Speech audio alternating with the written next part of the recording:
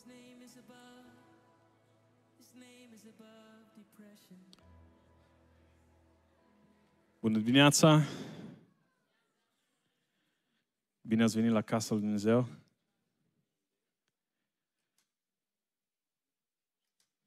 Cum sunteți?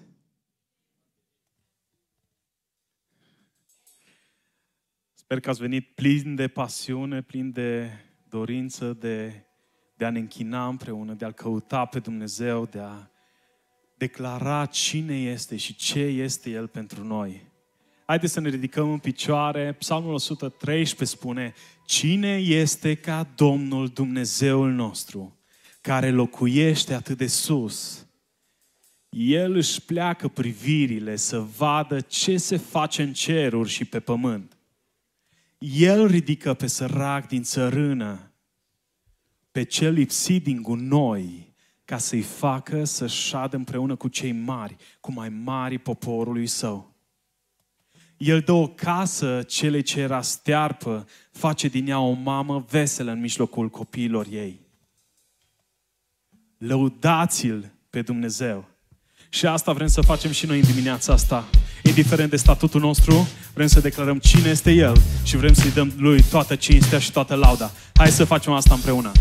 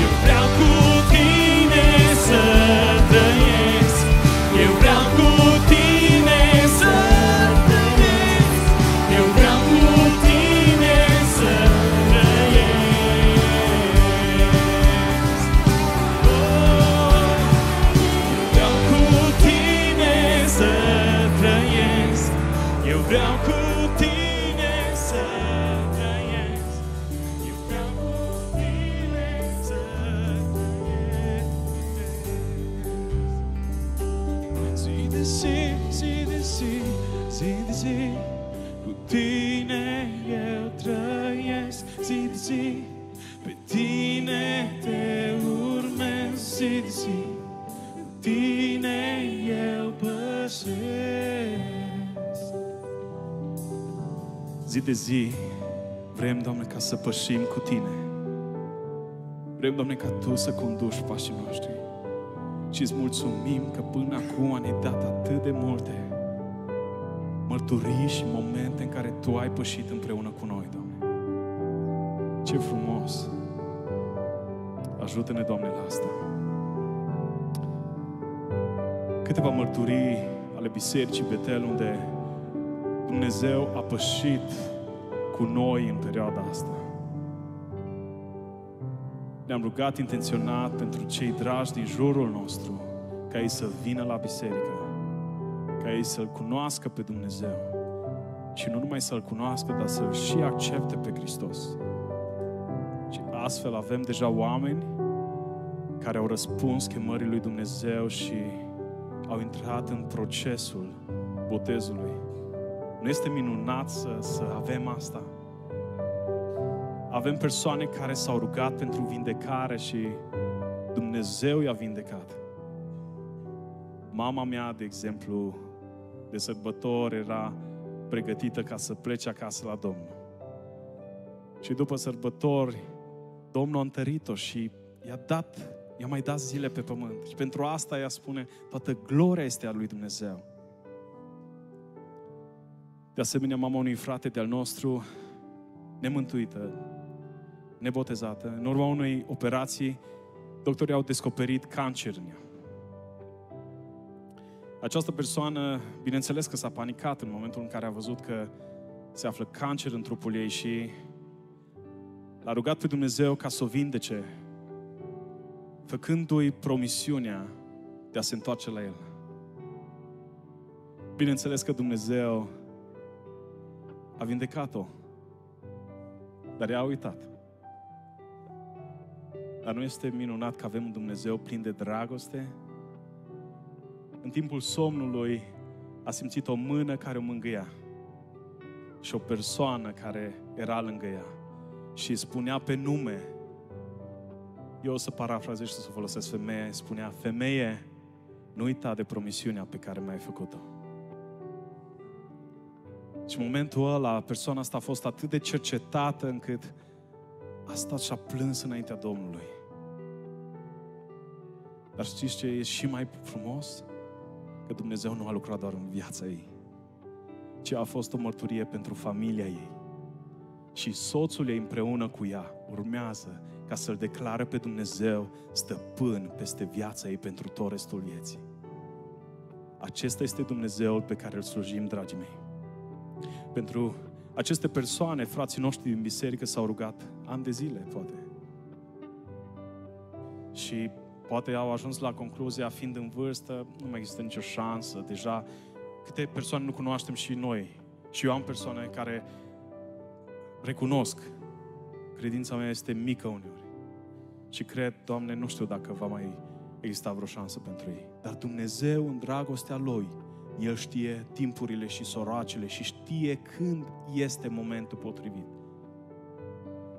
Dragii mei, acestea sunt numai, numai niște exemple, mărturii în care Dumnezeu a lucrat în viața noastră, a bisericii noastre, umblând cu El zi de zi și lăsându-ne călăuziți de El. Haideți să mergem într-o rugăciune de mulțumire și să, să îi dăm lui Dumnezeu toată cinstea și toată gloria pentru ceea ce El face în viața noastră. 2 Corinteni 2 cu 14 spune mulțumiri fi aduse lui Dumnezeu care ne poartă totdeauna cu carul lui de biruință în Hristos și care răspândește prin noi în orice loc mireasma cunoștinței Lui. Haideți să ne rugăm.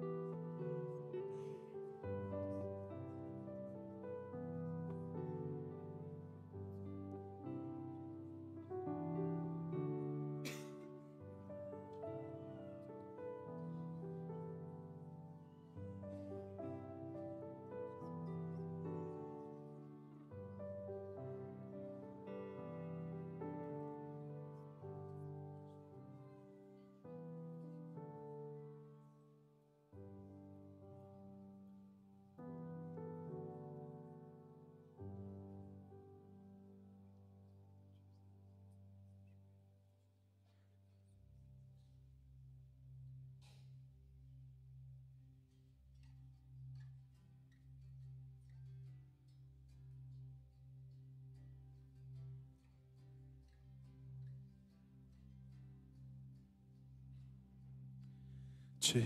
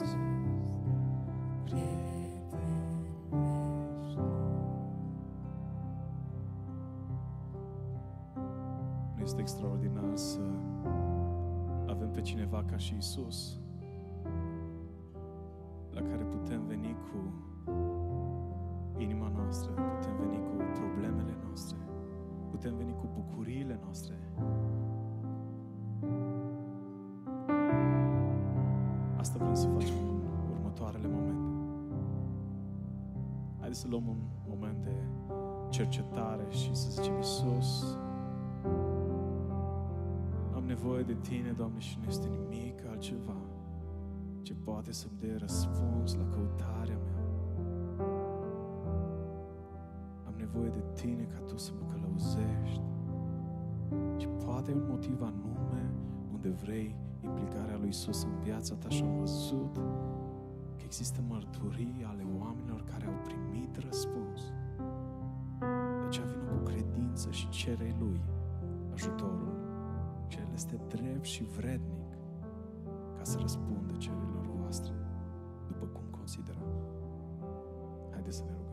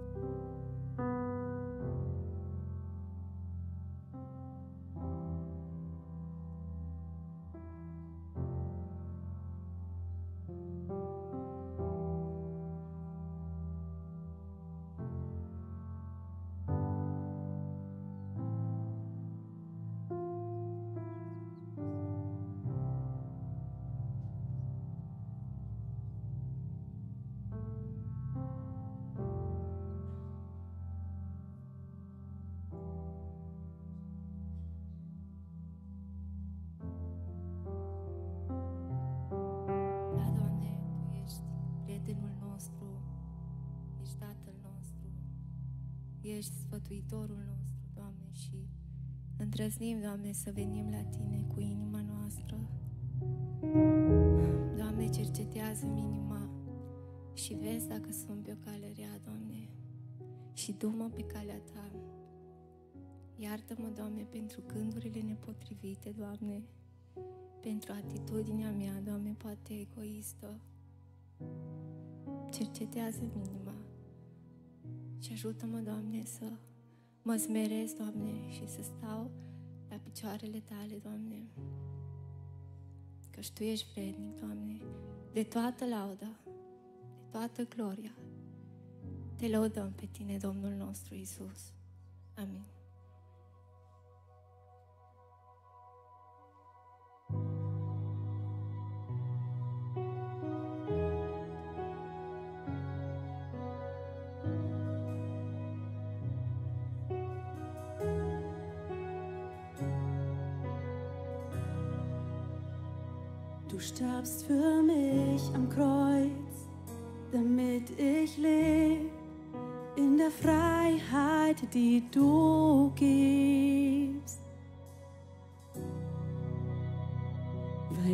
Dein eigen bin, hör ich nicht auf, laut zu singen, wie sehr du liebst. Würdig bist nur du, Jesus. Du verdienst das Lob. Würdig bist nur du. Würdig bist nur du,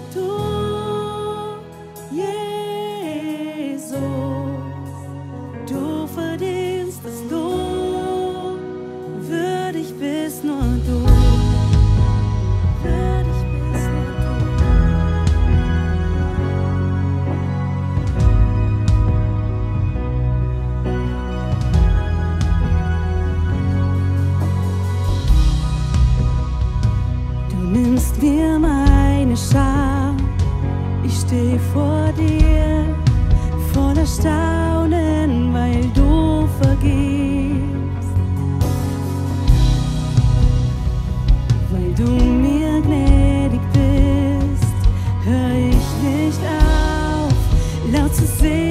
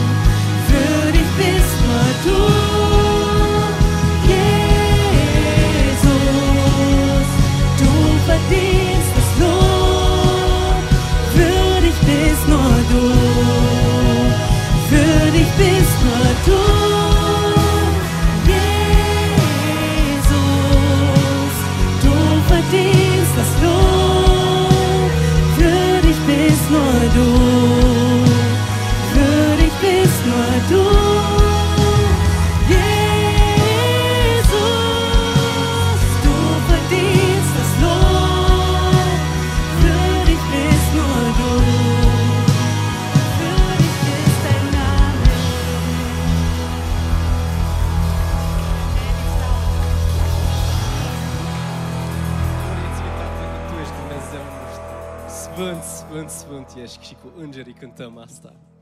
Amin. Luați loc. Bună dimineața, familia Betel. Mă bucur că suntem aici împreună și nu știu cum v-ați simțit voi când, a- când ați auzit cântarea zi de zi. Știți cum am simțit ca și unul dintre copiii ăștia din față. M-am simțit iarăși în copilăria mea și cred că și Andrei și Esther și care mi-au zis înainte, vezi că astăzi cântăm o cântare din copilăria noastră. Era fain. Am vrut să sar acolo în față, dar n-am avut loc. Bine ați venit, cei dragi. Um, poate ești prima dată aici cu noi. Um, dacă ești prima dată, te invit să te ridici cu noi, um, să te vedem, să cerem binecuvântarea lui Dumnezeu peste tine. Deci, dacă ești prima dată, ai curaj, ridică-te să te vedem. Este cineva? Nu. Ok, totuși, fiți binecuvântați toți. Um, și știți programul bisericii. Miercuria știm că ne vom ruga, ne vom întâlni aici la ora 19 și vă invit toți, fiecare dintre voi să veniți. Aveți pe scaunele voastre cardul de bun venit și ăla vrem să folosim să scriem mulțumirile noastre. Poate aveți tot așa o mărturie cum o citit și deja uh, Cristi. O mărturie unde vă vorbi Dumnezeu, unde vă dat vindecare, unde puteți da mulțumire lui Dumnezeu, că vă răspuns la rugăciunea voastră. Scrie-l acolo, aruncă după aia la colectă, ori la InfoPoint, și vrem să ne rugăm miercuria la ora 19. Sunteți toți invitați că iar, e, e, e, e arma noastră, e ce avem, cu ce ne luptăm împotriva răului, rugăciunea. De aia, hai, miercuria la ora 19 aici în casa lui Dumnezeu. Um, avem și grupul de casă, unde ne întâlnim de fiecare dată, unde vorbim, discutăm despre predica um, și care e un mare câștig pentru fiecare dintre noi. Un câștig ca să creștem spiritual, în relația unul cu altul, dar și în relația cu Dumnezeu și de aceea ia în serios întâlnirea aia. Poate ai o mică durere la cap sau ceva, poți să mergi totuși un pic. Și eu am câteodată dureri de cap și mama și mergem de obicei acolo și o pastilă face totul și o rugăciune. De aia, fi intenționat cu întâlnirea aia. Avem astăzi uh, întâlnirea pentru familii tineri la ora 17. Uh, veți, uh, vă veți întâlni aici, cei care v-ați înscris, cei care citiți deja cartea, uh, vă întâlniți aici la ora 17. Dacă n-ați citit capitolul care trebuie să citiți pentru astăzi, citiți-o până după masă ca să puteți discuta mai intenționat, mai adânc. Mai vrem să facem un moment de închinare, un act de închinare cu darurile noastre materiale care ne-a dat Dumnezeu. De aceea, dacă dați, dați în inimă. Amin.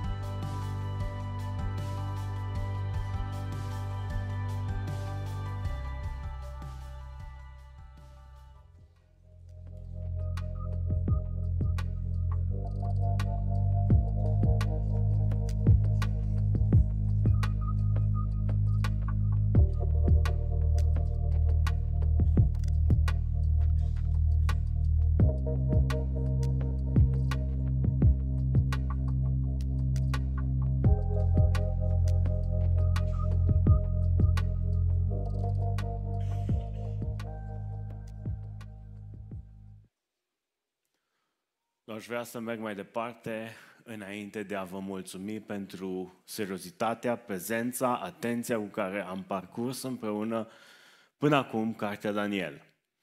Astăzi am ajuns la capitolul 11, care este probabil cel mai dens și cel mai complicat capitol din Cartea Daniel, nu din Scriptură. Dumnezeu însă are foarte multe învățături practice din acest capitol și împreună am văzut ce potențial evanghelistic, dar și călăuzitor, are cartea aceasta uh, scrisă de Daniel. Adresată mai multor națiuni, adresată în primul rând poporului Israel, dar în același timp are un caracter transcultural. Cartea Daniel ne prezintă un om care crește în asemănare cu Dumnezeu, reflectă chipul lui Dumnezeu prin atitudinea lui, prin ceea ce face, îl vestește pe Dumnezeu faptic și apoi și din punct de vedere al propovăduirii. Ăsta este Daniel. un om trimis într-o altă cultură care promovează cultura lui Iahve. Daniel este un personaj de la care avem foarte mult de învățat. Și astăzi avem o densitate puternică de informație, de învățătură. Astăzi vom vedea cum în capitolul 11 Dumnezeu a lăsat în cartea lui Daniel învățături din istorie, foarte multe profeții care s-au împlinit, învățături pentru noi la timpul prezent. Tot ceea ce este scris acolo pentru Daniel era la timpul viitor. Dar pentru noi este la timpul trecut, prezent, dar și viitor. Haideți să ne plecăm capetele și să cerem ca Dumnezeu să ne deschidă inimile și să fim atenți la ceea ce El vrea să ne comunice. Doamne, îți mulțumim pentru cartea lui Daniel. În numele Domnului Isus îți mulțumim pentru Biserica Betel.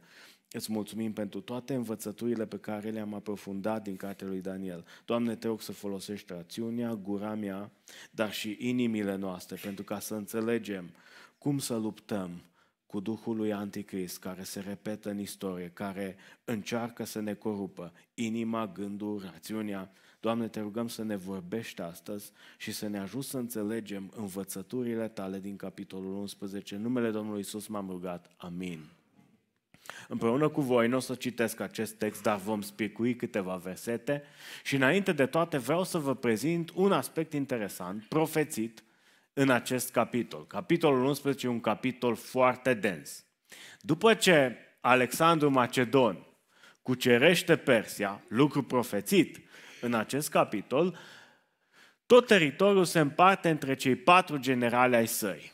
Pentru noi sunt interesanți Seleucus și Ptolemeu, Lisimac și Casander intră un pic în umbră. Cei care ați fost prin Grecia și vă plăcut să mergeți pe acolo, prin insulele din arhipelagul Halkidiki sau peninsulele Halkidiki, să vă, să vă aduceți aminte de Casander, unul dintre generalii lui Alexandru Macedon. Dar pentru noi, cei mai interesanți sunt ăștia doi, Alex, uh, Seleucus și Ptolemeu. De ce? Pentru că ei s-au luptat în continuu pe teritoriul Palestinei. Și din punct de vedere al lui Daniel, istoria, și Dumnezeu îi relevează istoria și viitorul, prin perspectiva luptei dintre împăratul din nord și împăratul din sud. Seleuc este urmat de alți împărați și de alte imperii. Apropo, astăzi, împăratul de nord, care se războiește cu împăratul de sud, împăratul de sud este preluat de Occident, de puterea occidentală. Unul din Ptolemei face uniune și alianță cu Roma antică, iar împăratul de nord de astăzi este Irakul, Iranul, tot pe teritoriul Israel se războiesc. Și la un moment dat ăștia doi încercau să se împace. A fost unul dintre Ptolemei, toți care au urmat în Egipt și au condus această parte a Imperiului Macedonian a Egiptului se numeau Ptolemei, urmașii faraonilor. Unul dintre Ptolemei, Ptolemeu Filadelful, și-a dat fica, o chema Berenis, Berenice, ca nevastă lui Antioch al doilea, Antioch Teos. Teos înseamnă, cine știe? Dumnezeu. Ăsta totdeauna, totdeauna Antiohii care au fost domnitori, regele din, din nord, totdeauna și-a luat un titlu din ăsta de zeu. Antioch Teos o ia de soție pe Berenis și au încercat în felul acesta să obțină pace. Foarte interesant, Antiohteos divorțează de soția lui la Odisea, de la care își trage numele și cetate de mai târziu, dar ajunge să fie otrăvit. Fosta lui soție îl otrăvește, dar o otrăvește și pe noua lui soție. Intriga lumii, modul în care lumea încearcă să obțină puterea, bogăția, sacrificând chiar și relațiile de familie. Divorț, mânie, crimă, ură, toate lucrurile astea sunt prezente în istorie. V-am dat această ilustrație, de ce? Pentru că este una dintre profețiile din acest capitol cu exactitate.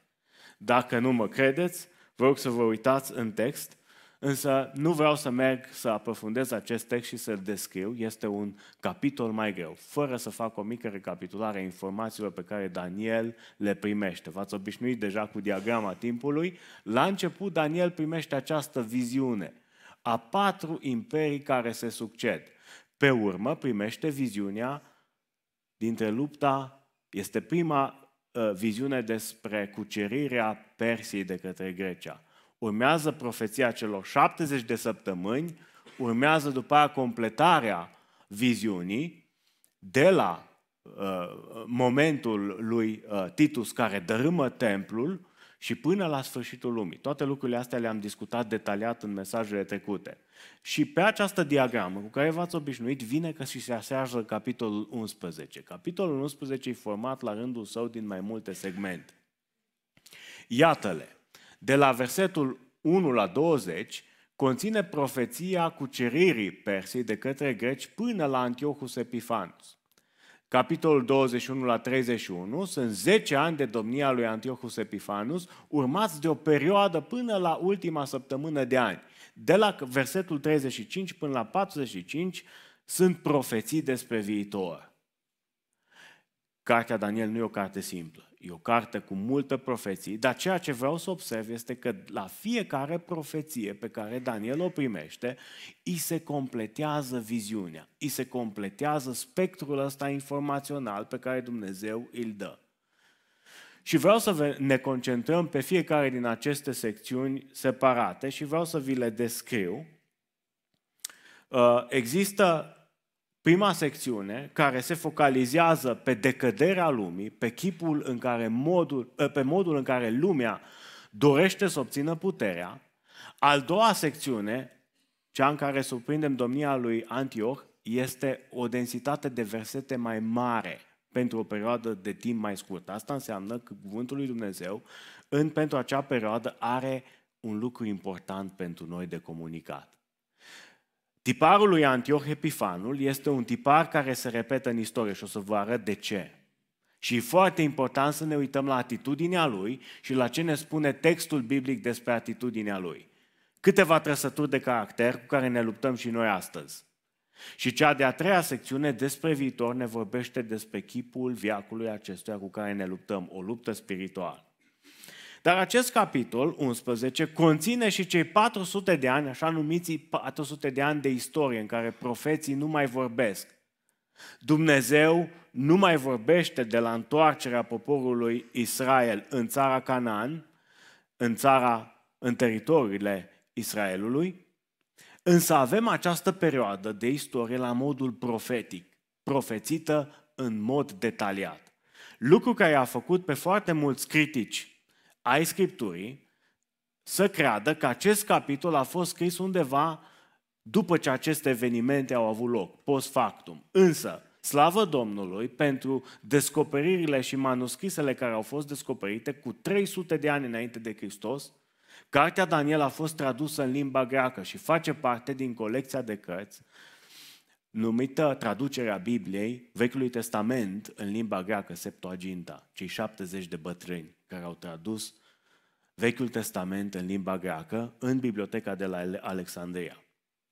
Foarte important, acest capitol nu este dictat de Daniel. Daniel este doar un scrib. Daniel scrie ceea ce îi este dictat și spus de personajul principal al acestei cărți. Vă aduceți aminte, în capitolul 10, Daniel vede omul în haină de in care nu este altcineva decât Domnul Isus. El face aceste predicții. Ok, dacă Domnul Isus spune și dictează capitolul 11, înseamnă că pentru mine ca și creștin lucrul ăsta e important, ceea ce se întâmplă acolo. Nu este doar o înșiruire de date istorice, de narațiuni, de întâmplări, ci sunt principii de viață pentru mine și pentru tine. De aceea mă voi uita atent la lucrurile care omul în haine de in îi le comunică în mod detaliat lui Daniel. Uh, capitolul 10 are o introducere în capitol, capitolul 11 are o introducere în capitolul 10 și vreau să vă recapitulez cele două versete, versetul 20 și versetul 21, pentru că ele ne dau structura într-un fel a acestui capitol. Omul în haine de in îi spune lui Daniel, știi pentru ce am venit la tine? Acum am să mă întorc să mă lupt împotriva căpeteniei Persiei. Prima secțiune a capitolului 11, și când voi pleca, iată, va veni căpetenia Greciei. Din start, omul în haine de in îi face o împărțire a perioadei modogrosul, ceea ce urmează să se întâmple, într-un mod foarte succint. Iar partea a treia, versetul 21, nu vreau să-ți fac, dar vreau să-ți fac de cunoscut ce este înscris în Cartea Adevărului. Cartea Adevărului era o carte cunoscută în Imperiul Persan, legendar, se spunea că cine deține Cartea Adevărului cunoaște viitorul a ceea ce se va întâmpla în acele teritorii. O carte legendară provenită chiar din istoria babiloniană. Și Domnul Isus îi spune, tu vei afla istoria. Tu vei afla viitorul, Daniel. Am să spun lucrurile importante. Însă, fii atent, nimeni nu mă ajută împotriva acestora, afară de voievodul vostru Mihail. Și am învățat data trecută că aceste căpetenii cu care omul în haina de in se luptă nu sunt altceva decât căpetenii demonice, slujitori al lui Satan. Omul în haină de in poartă un război spiritual. Suntem implicați într-un război spiritual și nu avem de ales neutralitatea. Noi nu putem fi neutri în acest război. Și când omul în haine de in spune nimeni nu mă ajută în afară de voievodul vostru Mihail, nu înseamnă pasivitatea îngerilor în acest război. Nu înseamnă că îngerii au capitulat și nu vor să se lupte. Ci, într-un fel, în scena asta, Daniel, Arhanghelul Mihail, prorocii și omul în haine de in sunt de o parte a baricadei. Există un război în care are loc un dialog, ca la nivel de generali. Și este făcut de cunoscut faptul că poporul abandonează lupta spirituală.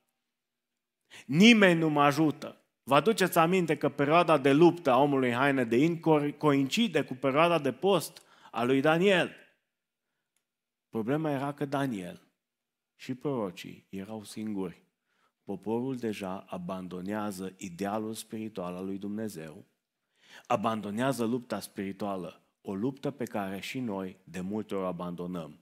Iar lupta nu se poartă cu vorbele, nu se poartă cu forța fizică, nu se poartă cu puterea argumentului, ci lupta se poartă pe genunchi.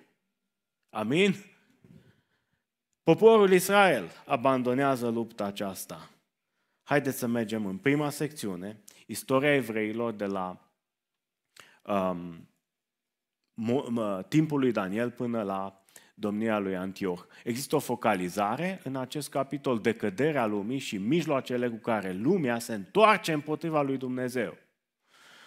O secțiune care ne vorbește despre foarte multe lucruri și am să spicuiesc câteva uh, versete, nu ne concentrăm asupra tuturora, dar iată, în primele două versete este făcut de cunoscut faptul că urmează trei regi persani și lucrul ăsta a fost confirmat de istorie. Ultimul rege persan, Xerxes I, se luptă la bătălia de la Termopile cu Grecia. O Grecie dezbinată. Foarte interesant, Grecia câștigă războiul împotriva unui armate, spune Herodot, de două milioane. Atât avea Xerxes 2 uh, milioane de soldați, mai mult decât contingentul NATO de astăzi. Rusia are un milion jumate de soldați. Iar în bătălia de la Termopile se luptă un milion de soldați împotriva unei Grecii care nu avea o armată unită din toate punctele de vedere. Culmea, Grecia câștigă. De ce? Pentru că în final, în spate, există o luptă spirituală. Dumnezeu este cel care coordonează istoria. Dar fiți atenți, nu doar Sfinții, nu doar Dumnezeu este unicul actor pe scena spirituală. Mai există căpetenii demonice. Există un război, iar ceea ce noi vedem în față, istoria asta este rezultatul și a unor lupte spirituale din, din spate. Se va ridica un împărat viteaz, versetul 3. În versetul 6 este profețită în detaliu ilustrația aceasta a lui Belenis pe care v-am prezentat-o um, în introducere. Versetul 8 va ridica, va strămuta în Egipt, odată cuprinși de război, chiar și pe Dumnezei echipurile lor turnate împreună cu vasele lor scumpe de argint și de aur. Sunt prezentate luptele între împăratul de nord și împăratul de sud, dar aici, printre picături, observi mizele care sunt. Luarea zeităților sugerează o miză spirituală există o miză spirituală, un interes spiritual care este în spatele acestui război, care se duce cu niște atitudini umane. Versetul 12, inima împăratului se va îngânfa. Mijloacele prin care lumea încearcă să dobândească puterea sunt opuse de mijloacele lui Dumnezeu, prin îngânfare, prin ambiții. Și din cauza aceasta, obiectivele noastre nu coincid cu obiectivele lui Dumnezeu, pentru că pentru noi, ceea ce dictează trasarea scopurilor nu este descoperirea lui Dumnezeu, ci de multe ori sunt ambițiile noastre. Îngânfare, dorința de a arăta în exterior ceva, de a demonstra ceva. Dar mai important decât atât, cu lumea nu te poți lupta, cu satan nu te poți lupta cu armele lumii. Versetul 14. În vremea aceea se vor ridica mulți împotriva împăratului de la miază zi, de la sud, și o ceată de derbedei din poporul tău se vor răscula, ca să împlinească vedenia. Oamenii ăștia înțeleg, e o vedenie care trebuie împlinită, dar vor cădea. O ceată de derbedei. De ce îi numește derbedei? Pentru că sunt oameni rebeli, pentru că dintre evrei au fost niște oameni care n-au mai recunoscut legământul cu Iahve și încearcă să se lupte cu lumea folosind armele lumii. Dar, după cum observi, războiul folosind armele lumii nu duce la altceva decât la pieire. Ce pot să învăț din această secțiune în care apare o înșiruire de caracteristici? Și vă rog să vă luptați cu textul ăsta acasă. Vreau să vi le amintesc. În primul rând, învăț că Dumnezeu cunoaște viitorul. El alege, avertizează și protejează pe baza faptului că El știe ce se va întâmpla în viitor, pe baza preștiinței. Ceea ce noi credem este faptul că Dumnezeu nu a decis din start, de la început, uite, am creat oameni pentru iad și oameni pentru cer. Dacă crezi că în felul ăsta Dumnezeu predestinează, este o imagine greșită a predestinării lui Dumnezeu. Căci El dorește ca toată lumea să vină la pocăință, la mântuire. Dumnezeu, planul lui Dumnezeu este ca toți oamenii să vină la pocăință, la mântuire. Amin. Dar, pentru că Dumnezeu ne-a creat cu această uh, capacitate de a decide, există și trecerea de partea răului, iar în acest capitol este nuanțată, prezentată și detaliată, trecerea prin trădare de partea lui Satan. Al doilea lucru, în versetul 8 ai văzut, prin strămutarea idolilor. Ambițiile oamenilor au un fond spiritual. Există obiective care sunt determinate de un fond spiritual. Există un fond spiritual al problemei. Decăderea mea spirituală mă va determina să am țeluri pentru viață greșite. Dacă nu sunt un copil al lui Dumnezeu, care vrea să înțeleagă voia lui Dumnezeu, ce iubește Dumnezeu, ce îi place lui Dumnezeu, ce vrea Dumnezeu cu viața mea, voi căuta să îmi trasez obiective după ceea ce inima mea îmi dictează trupul ăsta care caută confort, care caută siguranță, care caută plăcere, îmi va trasa anumite obiective. Există un fond spiritual al obiectivelor oamenilor. A treia învățătură din această secțiune din toate cele 20 de versete care conțin foarte multe profeții. În primele 30 de versete din acest capitol sunt 130 de profeții care deja s-au împlinit. O densitate mare. De ce? Pentru că Dumnezeu avertizează, cunoaște viitorul, există un fond spiritual. Dar, în acest capitol ni se arată că mijloacele lumii sunt în opoziție cu voia lui Dumnezeu. Care sunt mijloacele lumii? Păi uite-te, ai văzut în text un termen inima se va îngânfa, va dori. Ambiție. Ambiția. Uneori ambiția nu te lasă să descoperi voia lui Dumnezeu și să acționezi conform voii lui Dumnezeu. Ambiția, mândria, orgoliul. Îmi doresc să obțin un lucru neapărat care nu este voia, după voia lui Dumnezeu. Ambiții greșite. Apoi asuprirea este amintită de câteva ori aici prin asuprire, mijloacele oamenilor, a umanității de a obține putere, de a atinge obiectivele, de a descoperi anumite uh, uh, trasee în viață, sunt dictate de mijloace greșite, printre care asuprire. Îmi obțin obiectivele asuprindu-i pe ceilalți. Ați întâlnit oameni care caută să-și obțină interese pe spatele altora? Unii dintre voi chiar ați lucrat pentru oameni care uneori au uitat să vă plătească, ba chiar au făcut presiune peste voi să stați ore în plus la servici.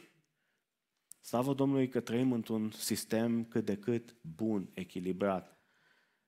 Dar există și sacrificiul celor apropiați. Iată, căsătorii din interes. Lipsă de focalizare pe educația copiilor. De ce? Ca să ne obținem mai mult confort, lucrăm mai mult, stăm mai mult la lucru și uităm să ne creștem copiii sau să stăm mai mult acasă. Nu vă încurajez ca să lipsiți din partea profesională. Faceți-vă datoria, mai ales bărbații. Pe noi Dumnezeu ne-a creat cu capacitatea de a duce vânatul acasă. Dar nu uitați să o faceți și pe cealaltă. Apoi, nu vă sacrificați familiile pentru a obține mai mult confort niciodată. Ptolemeu Filadelfiul își sacrifică fica, fica lui ajunge să sufere foarte mult, ba mai mult, moare o trăvită, atât ea cât și copiii ei. Trădare, înșelăciune, un prinț viclean, înșală, astea sunt mijloacele lumii. Oare nu le folosim și noi? Oare nu ne trădăm prietenii? Oare nu înșelăm atunci când completăm, spre exemplu, o declarație fiscală la final de an și nu ne declarăm toate veniturile pe care le-am realizat?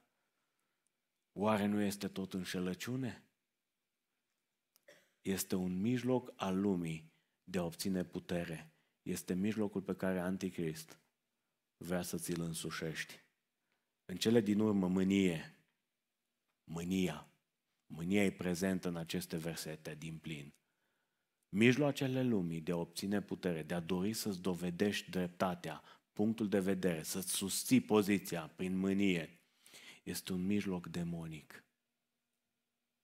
Mânia este un mijloc demonic. Iată câteva învățături din prima secțiune, iar nu uitați, o ceată de derbedei din poporul tău au încercat să împlinească vedenia, dar au murit răpuși. De ce? Derbedei însemnând neascultători, sfidători, pentru că nu ne putem lupta împotriva lui Satan folosind mijloacele lumii. Și am subliniat acolo, nu folosind mijloacele lumii.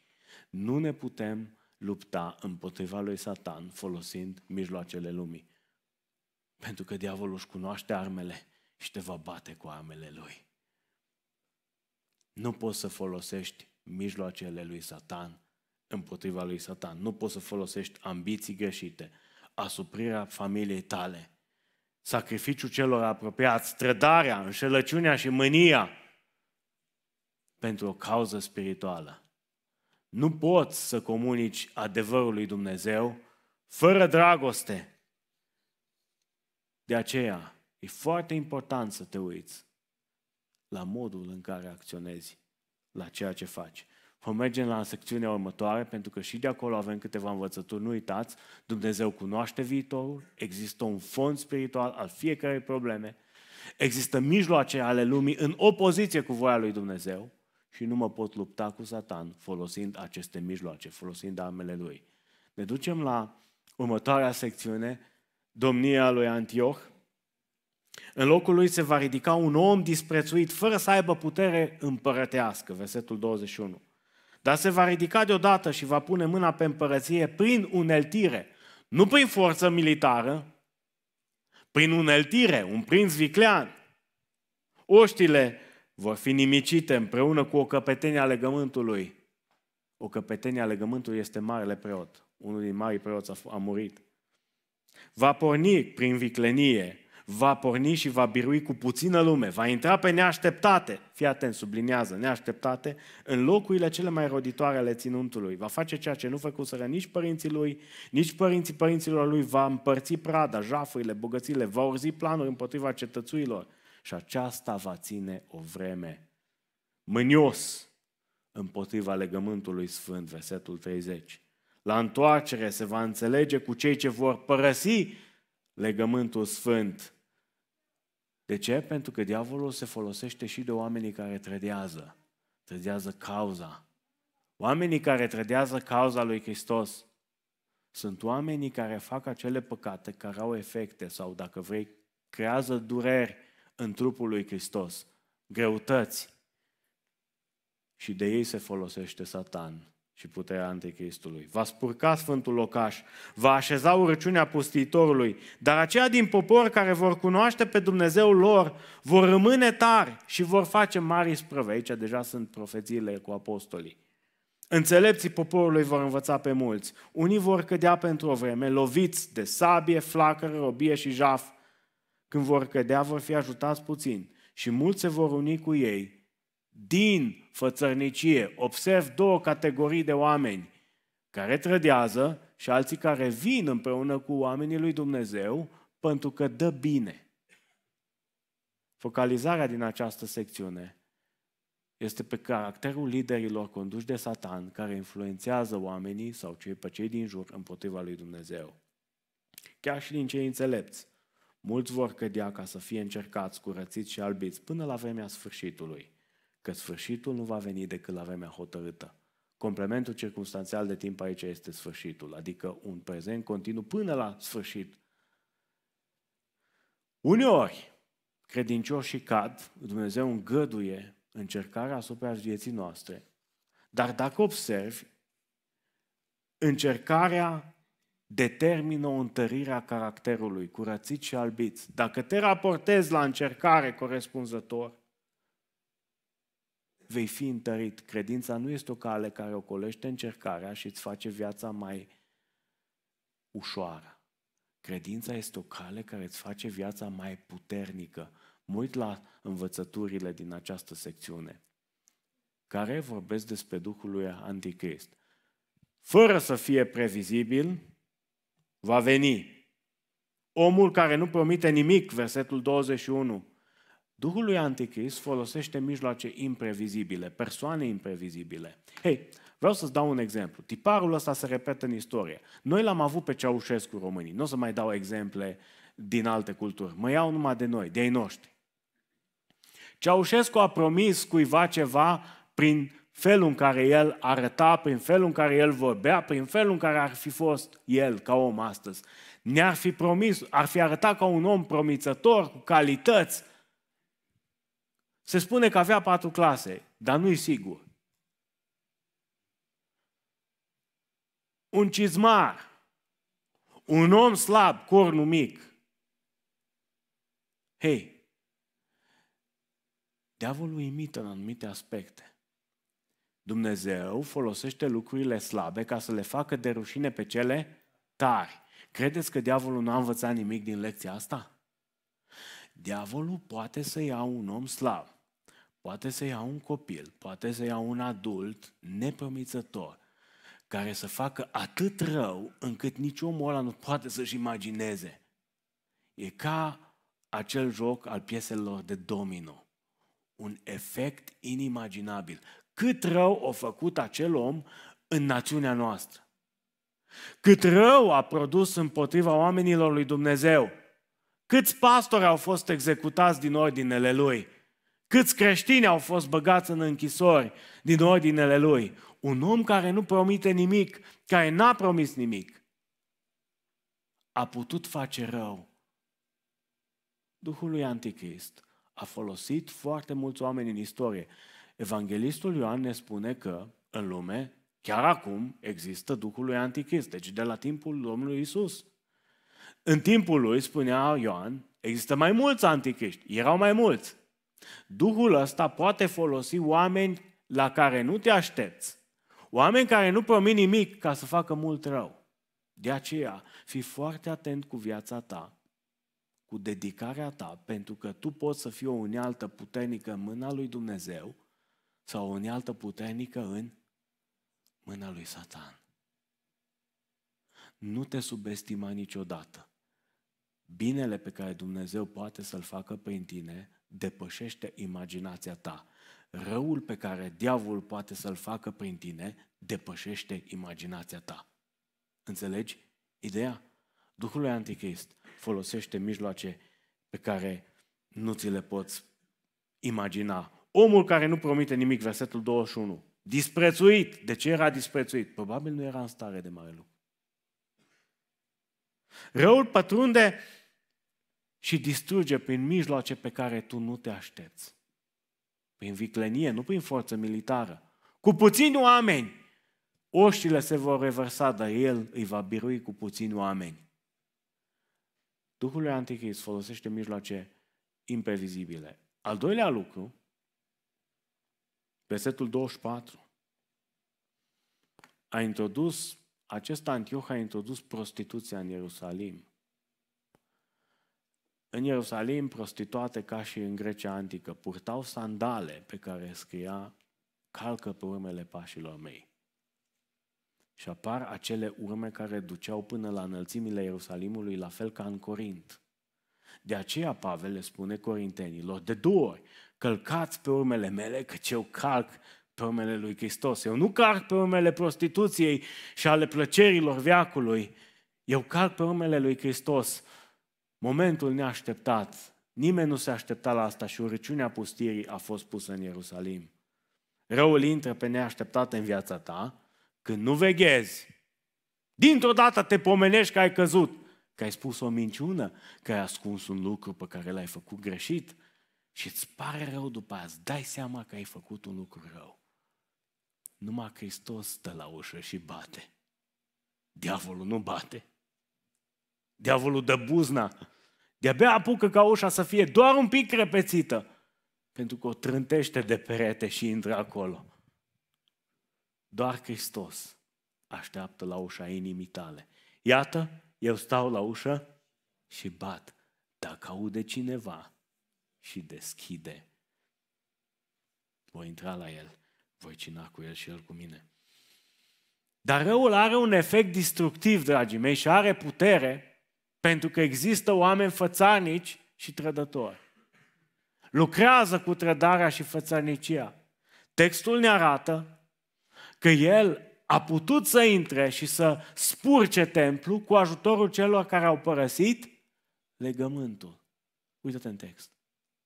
Cu ajutorul celor care au părăsit legământul. Apoi, alții se vor atașa de cei sfinți doar din fățărnicie. Oare câți dintre noi nu venim la biserică, nu facem anumite lucruri doar pentru ca să dea bine? doar pentru ca să părem că suntem ok. Câte milostenii, câte fapte bune sunt făcute și tot Facebook-ul știe de ele. Selfie cu binefaceri. Nu vă spun să nu pozați. Dai fățărnicie de cele mai multe ori. Versetul 34. Când vor cădea, vor fi ajutați puțini. Ok, au văzut că sunt ajutați, că Dumnezeu e cu ei și atunci mulți se vor uni cu ei din fățărnicie, nu din convingere. Oare de ce sunt aici? Sunt dintr-o convingere lăuntrică? De ce vin la biserică? De ce vin la grup mic? Consider că e important să fiu acolo? Dragul meu, aportul tău contează. Și de asta e trebuie să vii. Indiferent cum e inima ta, uneori e ferfeniță, uneori e sfâșiată, uneori ai căzut pe bec, dar cel mai rău, ai căzut, ai căzut într-o prăpastie a păcatului, dar cel mai rău lucru pe care poți să-l faci este să lipsești din trupul lui Hristos, să te izolezi, pentru că asta vrea diavolul. Caută să vii aici și caută să o faci într-un mod autentic, din inima ta. Diavolul conlucrează cu trădarea și fățărnicia, atât cu oamenii care părăsesc legământul, încep să păcătuiască. Și îngreunează, îngreunează viața slujitorilor. Pentru că asta înseamnă efort în plus. Înseamnă lucru în plus. Înseamnă durere pentru biserică. Și apropo, puterea bisericii Betel constă, știți în ce? Suntem ca scândurile acelea unite ale unui butoi care se umple cu apă. Unele scânduri sunt mai slabe, mai scurte, pe acolo curge apa afară. Puterea bisericii Betel stă în puterea celui mai slab dintre noi. Ăla e modul în care poți să măsori capacitatea bisericii Betel. Nu te mulțumi cu locul în care ești. Caută să crești în Hristos.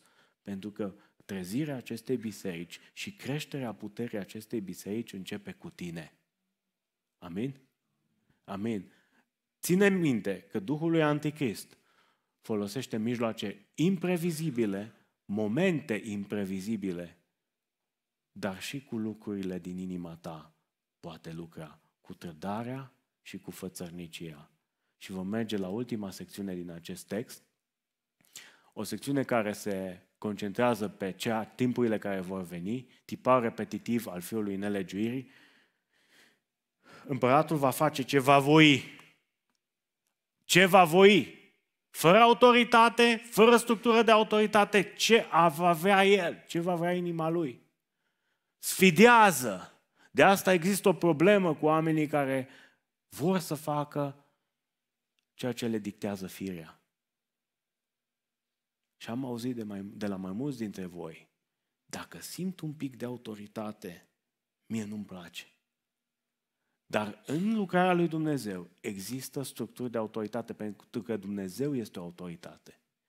Dumnezeu este un Dumnezeu al orânduielilor. Amin. Asta nu este legalism. Este modul în care Dumnezeu lucrează. Se va înălța, se va slăvi mai presus de toți Dumnezeii și va spune lucruri nemai auzite împotriva Dumnezeilor, Dumnezeilor și se va propăși până va trece mânia, necazul cel mare. Căci, este, căci ce este hotărât se va împlini. Versetul 37. Se va slăvi pe sine mai presus de toți. Versetul 38, 39. Va lucra împotriva locurilor întărite.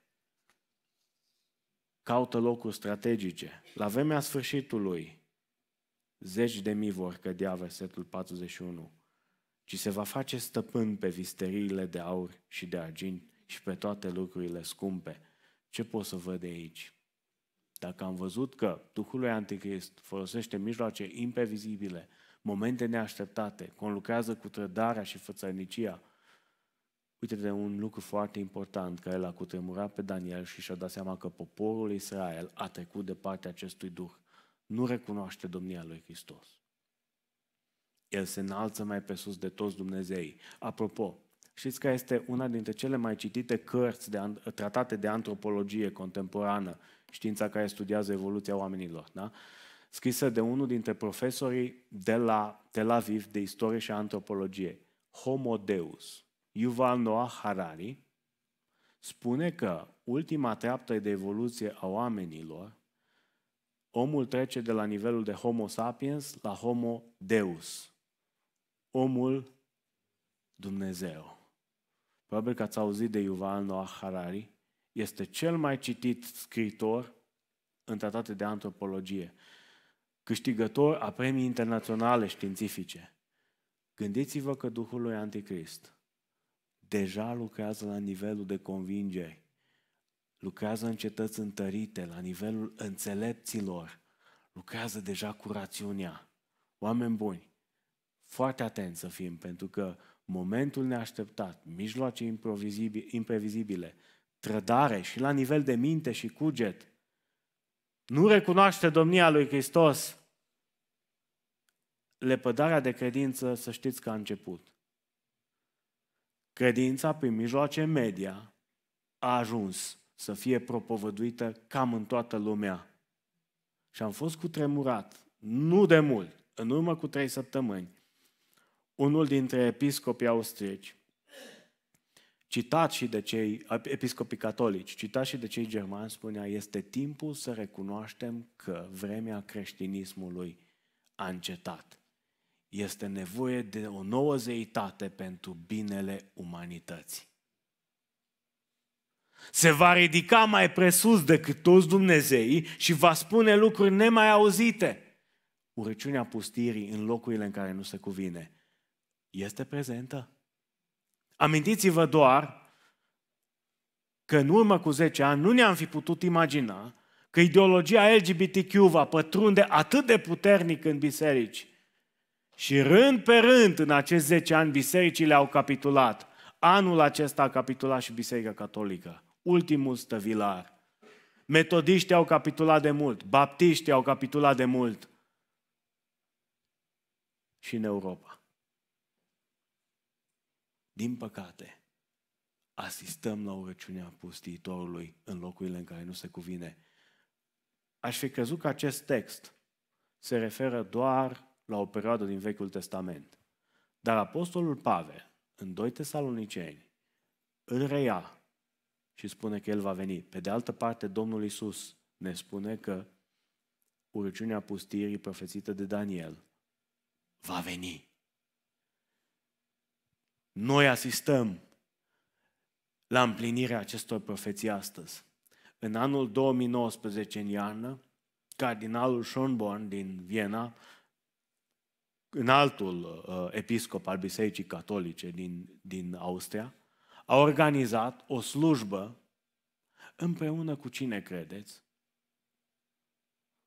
Și, și pe ei iubește Dumnezeu, spunea, da? Și eu cred că Dumnezeu iubește păcătoșii, dar urăște păcatul.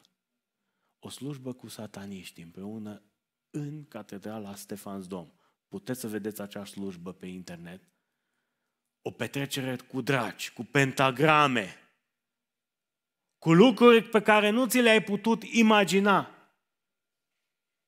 Și nimeni nu i-a spus nimic.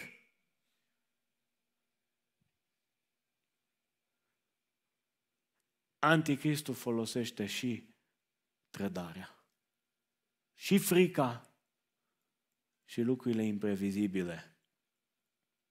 Subminează autoritatea lui Dumnezeu. Autoritatea asupra adevărului și asupra vieții.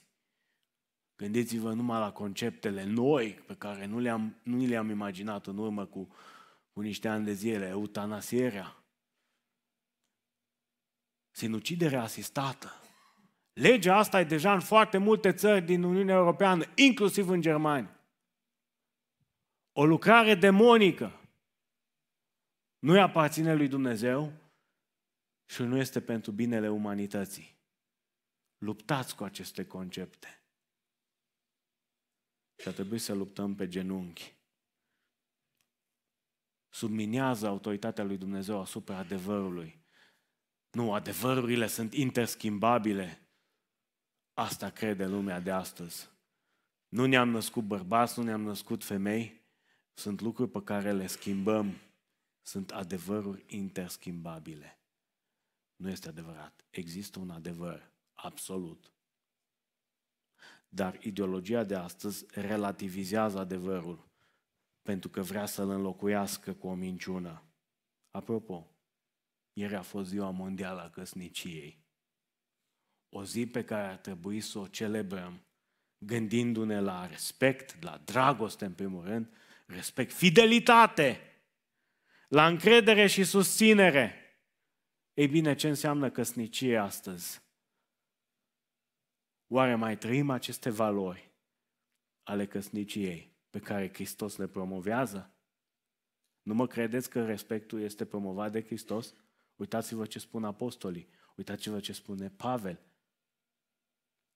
Uită-te fiecare să nu caute foloasele lui, ci a celuilalt, să-l, să-l vezi pe celălalt mai mare decât tine.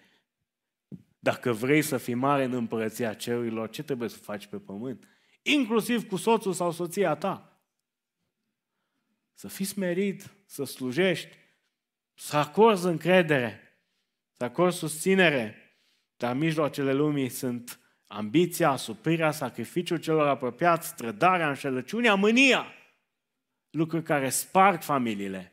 Nu mai vorbesc de infidelitate, care atinge cote alarmante, cel puțin la nivel mental. Sunt mijloacele prin care Antichrist câștigă o parte din gândirea noastră. Apoi, Anticrist. Duhul lui Anticrist lucrează coordonat asupra zonelor de influență. Cetățile întărite. Ai grijă. Da, Dumnezeu are un plan. Diavolul are și el un plan. Caută să te racordezi mereu la planul lui Dumnezeu. Revină la scop. Care e scopul vieții tale? Daniel mereu revine la scop.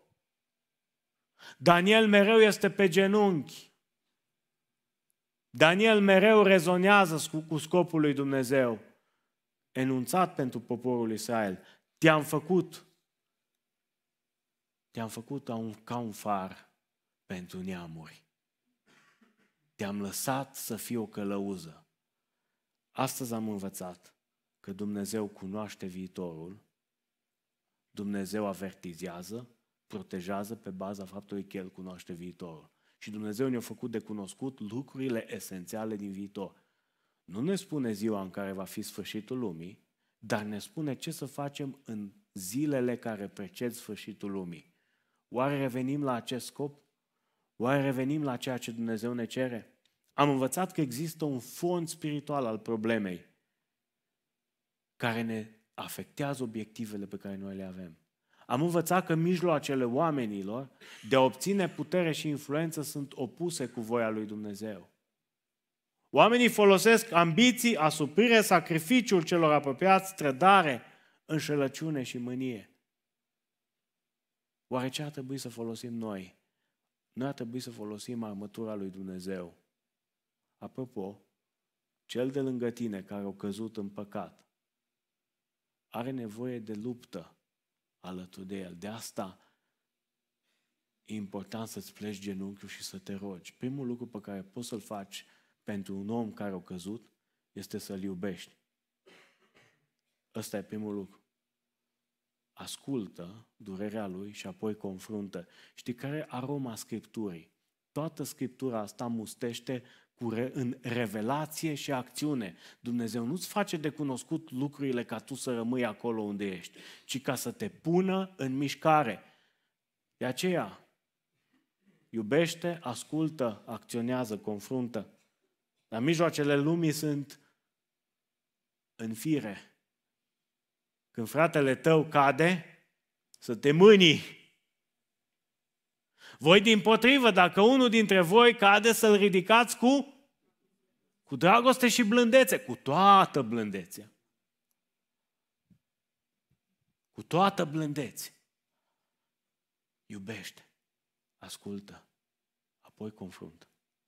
Cu toată blândețea comunică adevărul lui Dumnezeu cu dragoste, nu cu ambiții, nu cu asuprire, nu cu sacrificiu celor apropiați, nu cu trădare, nu cu înșelăciune, nu cu mânie. Mijloacele oamenilor sunt în opoziție cu voia lui Dumnezeu. Tu nu te poți subta cu Satan folosind mijloacele oamenilor. Și apoi am învățat că Duhul lui Anticrist folosește mijloace imprevizibile, lucruri pe care tu nu le, ți le poți imagina, lucruri pe care le consider slabe, momente imprevizibile, neașteptate. Conlucrează cu trădarea și fățărnicia.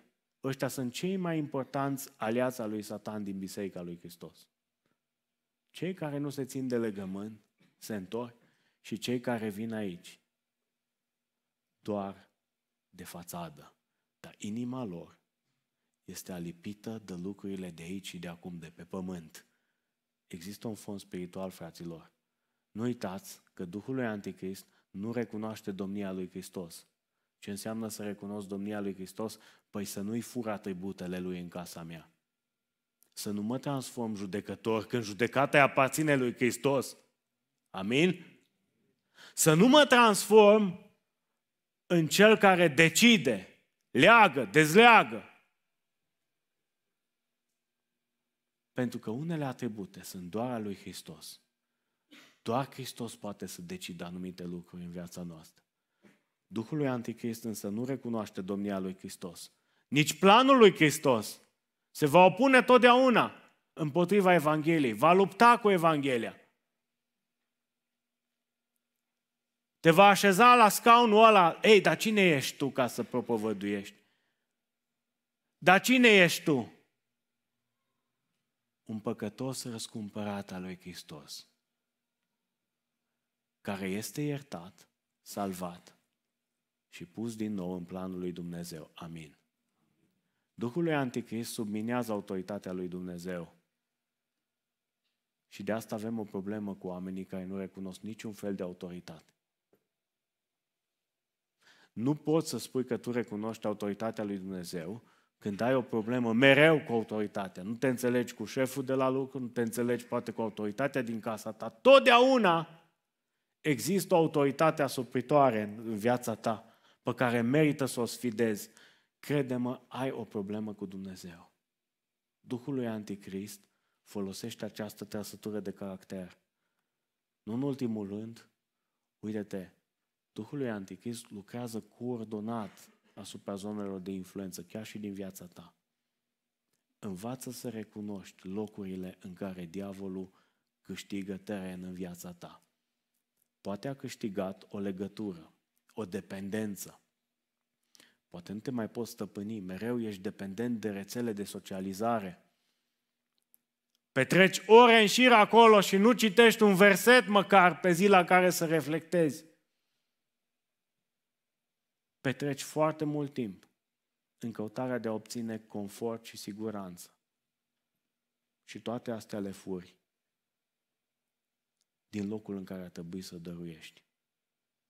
Este timpul să ne oprim, să ne rugăm, să ne lăsăm cercetați în inima noastră de Duhul Sfânt. Trebuie să existe această cercetare, această scanare a caracterului. Ați văzut? Istoria reprezintă căutarea pasionată a lui Dumnezeu a fiilor risipitori. Asta este istoria și Dumnezeu îți dă revelație și o invitație la acțiune. Aroma Scripturii înseamnă revelație și acțiune. În asta constă. Dumnezeu își descoperă planul, dragostea, dorința de salvare și te invită și pe tine să faci parte din planul ăsta. Iar alternativa e asta. Nu poți să fii rob la doi stăpâni. Nu poți să surești și pe Dumnezeu și pe Satan. N-ai cum. De aceea Dumnezeu își dorește ca viața ta să fie predată integral, toată. Să nu mai existe locuri, toposuri, locuri în care El are domnie asupra mâniei tale, asupra dependenței tale. Poate ești dependent și nu știi cum să scapi. Tu nu te poți lupta cu Satan folosind armele lumii. Și asta aș vrea să reții. Duhul lui Anticrist caută să te corupă, folosind mijloace imprevizibile, folosind momente imprevizibile, conlucrează cu trădarea, fățărnicia, nu recunoaște domnia lui Hristos, subminează mereu autoritatea lui Dumnezeu și își introduce adevărurile lui. Și nu în ultimul rând, caută zonele de influență.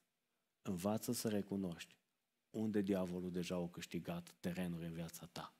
Haideți să ne plecăm capetele și să ne rugăm. În această dimineață, Doamne, vrem să-ți mulțumim pentru mesajul pe care Tu ni l-ai transmis prin cartea Daniel. O carte care descrie chemarea pasionantă a lui Hristos pentru viața noastră, pentru poporul Israel și pentru toată lumea. Îți mulțumim că planurile tale cu noi sunt planuri de pace. Astăzi am învățat că tu ne avertizezi pentru că ne iubești. Tu cunoști istoria. Tu n-ai hotărât un loc de pedeapsă pentru oameni, ci l-ai hotărât pentru Satan. Dar oamenii care te resping ajung acolo. Doamne, deschide-ne inima astăzi, pentru că totul este despre Tine. Uneori alergăm pe pământul ăsta după lucruri care pierd. Ne concentrăm pe confortul nostru, pentru că deja Duhul lui Anticrist lucrează și caută să submineze autoritatea ta. Caută să înlocuiască adevărurile tale din mintea noastră. Caută să distrugă relațiile care ne întăresc și să ne izoleze. Doamne, vrem să ne lăsăm în mâna Ta, să recunoaștem domnia Ta. Doamne, lucrează în viața noastră, lucrează în mintea noastră. Ne rugăm ca Tu să rupi în această dimineață legături, legături de dependență, rețele de socializare, pornografie, gânduri murdare, minciună, fățărnicie, înșelăciune, mânie, ambiții greșite. Doamne, le aducem înaintea Ta. Aducem și bolile și suferințele noastre și acele frici și locuri în care ne pierdem nădejdea de multe ori. Am înțeles că mulți vor cădea, chiar și din înțelepți. Am înțeles că suntem încercați de multe ori pentru ca caracterul nostru să se întărească. Doamne, vrem ca să lucrezi la întărirea caracterului vieții noastre. Prin Duhul Tău cel Sfânt lucrul ăsta poate fi făcut posibil. De aceea te rugăm să lucrezi la caracterul nostru, Doamne, în această dimineață. Te rugăm să întărești autoritatea lui Hristos în inima noastră. Prin Duhul Tău cel Sfânt, Doamne, te rog să elimini, să înlături orice minciună. Orice minciună despre Tine, despre biserica Ta, orice minciună despre viitorul nostru.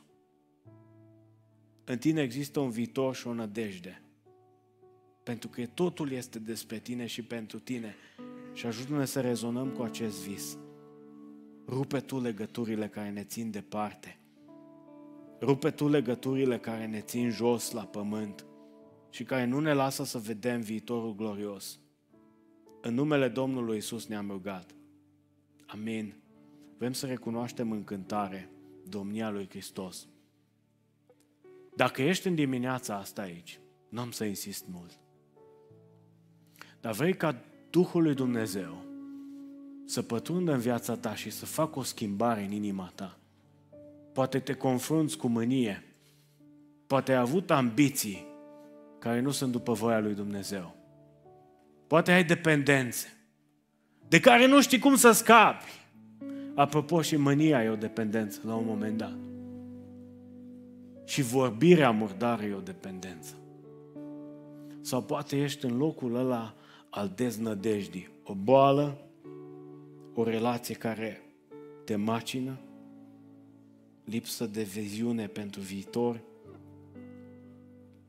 Omul în haine de in se descoperă lui Daniel.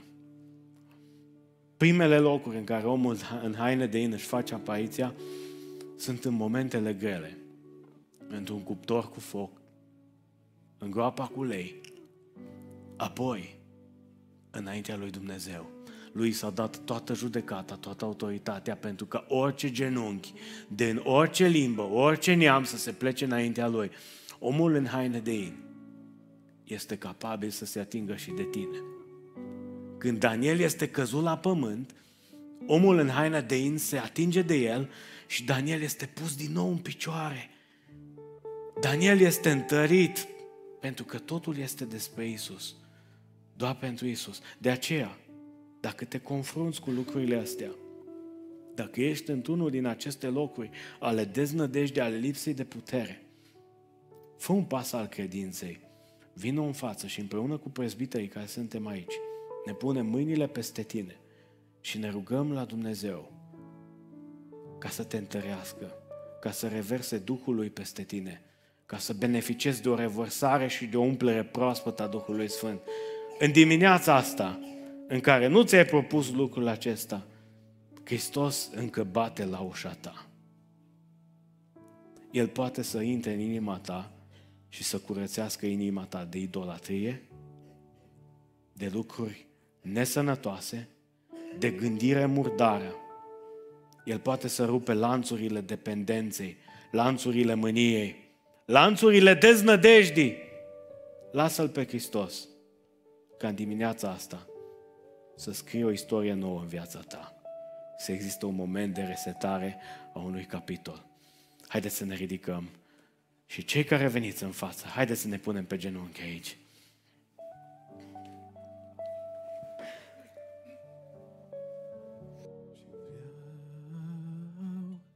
Tot ce voi lăsa în urma mea Să amintească lumii întregi cândva Îndear de Isus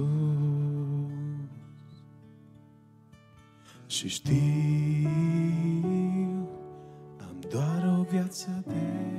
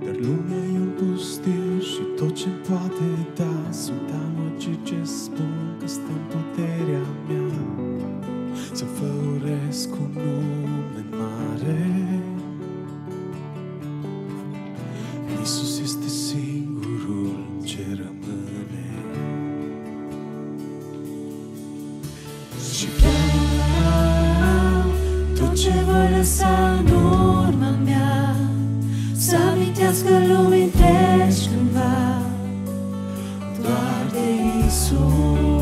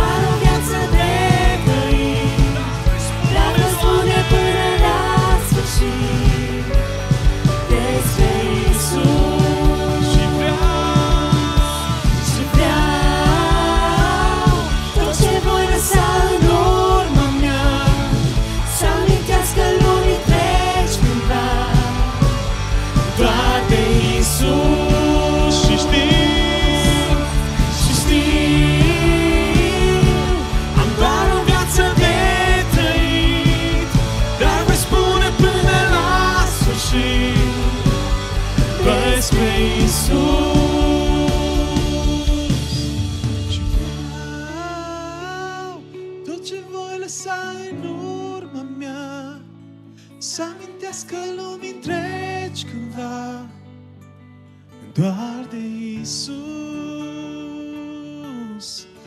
Și știu, am doar o viață de trăit, dar voi spune până la sfârșit doar despre Isus. Omul în haină de in, care poate să întărească, să ridice. Doamne, te mărturisim pe Tine. Tu ești Dumnezeul cerurilor. Îți mulțumesc pentru toți acești oameni care au făcut un pas al curajului și al credinței astăzi și care te mărturisesc pe tine ca Domn, ca eliberator, ca suveran. Puterea ta asupra morții, victoria ta asupra păcatului, victoria ta asupra lui Satan. O proclamăm astăzi peste ei.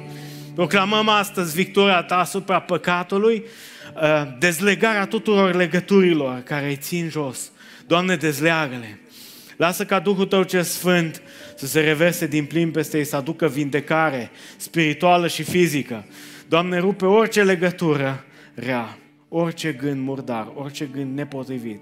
Înlocuiește-l cu speranță. Doamne, acei care au nevoie de întărire în lucrare, dă-le-o Tu din plin. Acelor care sunt deznădăjduiți, Doamne, întărește-i Tu, pentru că Tu întărești genunchii care au slăbit. Tu întărești și mintea. Tu faci ca omul care se încrede în mâna Ta să întinerească ca vulturul. De aceea își cer această binecuvântare a restaurării sufletelor în dimineața aceasta. Doamne, îți cer umplere cu putere specială pentru ei. Iar pentru noi ca și biserică, lasă ca îndurarea Ta să fie peste noi, după cum noi o nădăjduim de la Tine. Doamne, fie binecuvântarea Ta peste noi, după cum noi o nădăjduim de la Tine. Doamne, fie inspirația, călăuzirea, puterea, vindecarea, harul Tău peste noi. Poate mai mult decât înnădăjduim noi de la Tine, pentru că Tu lucrezi dincolo de imaginația noastră. Tot ceea ce noi îți cerem, pentru Tine este important. Îți mulțumim pentru că Tu iubești Biserica Betel. Vrem ca într-o zi toți cei care suntem aici să ne întâlnim cu Tine. Eliberează-ne, învrednicește-te, învrednicește-ne, Doamne, încarcă-ne cu puterea Duhului Tău ce Sfânt și lasă-ne să pășim liberi în Hristos. În numele Domnului Iisus m-am rugat. Amin. Vă rog să vă ridicați. Fiți binecuvântați cu toți. Dumnezeu a făcut o minune a resetării și astăzi, pentru că Dumnezeu este mare. Dumnezeu binecuvintează Biserica Betel și îndurarea Lui este peste noi mai mult decât am nădăjduit-o de la El, pentru că e bun. Fiți binecuvântați și fiți o binecuvântare.